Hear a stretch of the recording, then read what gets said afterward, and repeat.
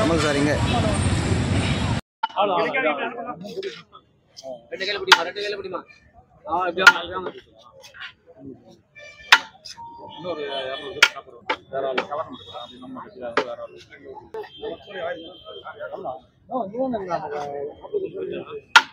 வாங்க வாங்க வாங்க. வாங்க இப்படி வாங்க.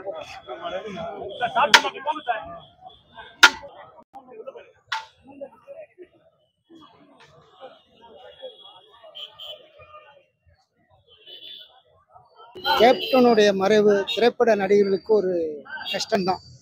அவர் நல்லா இருந்த காலத்தில் உதவி எல்லாருக்கும் நல்லா செஞ்சார். குழந்தைகள் படிப்பு செலவுக்குன்னா உடனே கொடுத்து அனுப்புவார். யார் என்னென்ன கேள்விலாம் கிடையாது. உதவுறதுக்கு கேள்வி கேட்காம உதவுறவர் அவர் ஒருத்தர் தான். வேறு யாரும் கிடையாது. கேப்டனுடைய புகழ் மென்மேலும் வளரணும் வாழணும். அவங்க குடும்பத்தாருக்கு அனுதாபம். அவர்கள் வருத்தப்படாமல் இருக்கணும்.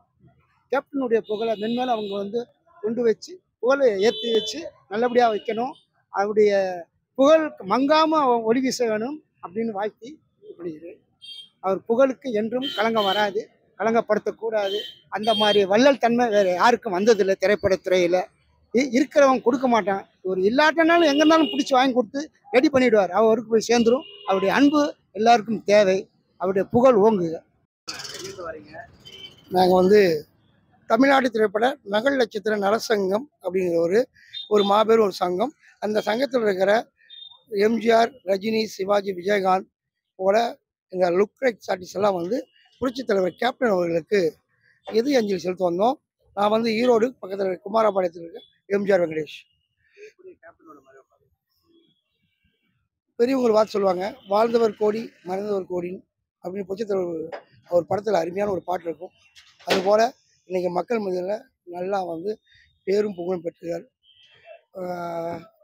கடைசியாக நம்ம பார்க்க முடியலையே அப்படின்னு ஒரு வருத்தம் தான் ஒழிய இந்த இடத்துல இருக்கும்போது எவ்வளவோ கஷ்டப்பட்டு இந்த அளவுக்கு வந்தவர் சிறப்பாக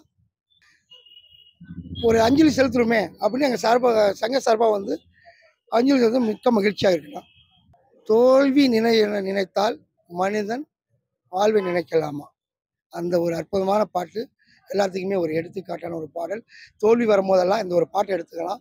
கண்டிப்பாக வெற்றி அடைவோம். அனைவருக்கும் வணக்கம். நான் உங்க சிம்பு மதன் பேசுறேன். ரொம்ப கஷ்டமான ஒரு விஷயம். என்னன்னா இப்போ நம்ம கிரிக்கெட்டுக்கு பாத்தீங்கன்னா ஒரே கேப்டன் ஃபுட்பாலுக்கு ஒரே கேப்டன் எல்லாருக்குமே தெரியும்.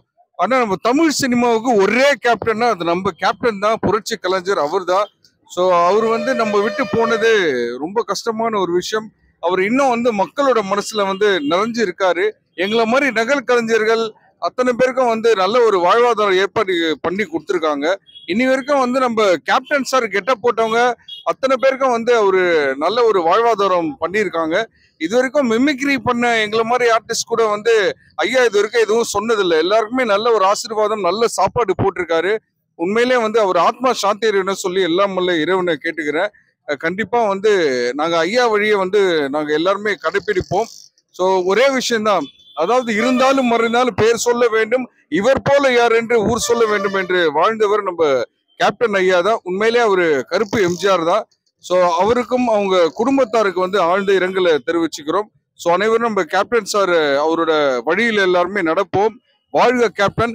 எங்களுடைய தமிழ்நாடு திரைப்பட நகல் நட்சத்திர நல சங்கம் சார்பாக இன்னைக்கு நம்ம புரட்சி கலைஞருக்கு வீர வணக்கம் செலுத்துவதற்காக நாங்கள் எல்லாருமே வந்திருக்கோம். ஸோ அத்தனை பேருக்கும் மீண்டும் ஒரு மாதிரி நன்றி தெரிவித்துக் கொள்கிறோம். அனைவரும் இன்று போல என்றும் வாழ்க வளமுடன் என்றும் நலமுடன் பல்லாண்டு காலம். நன்றி வணக்கம்.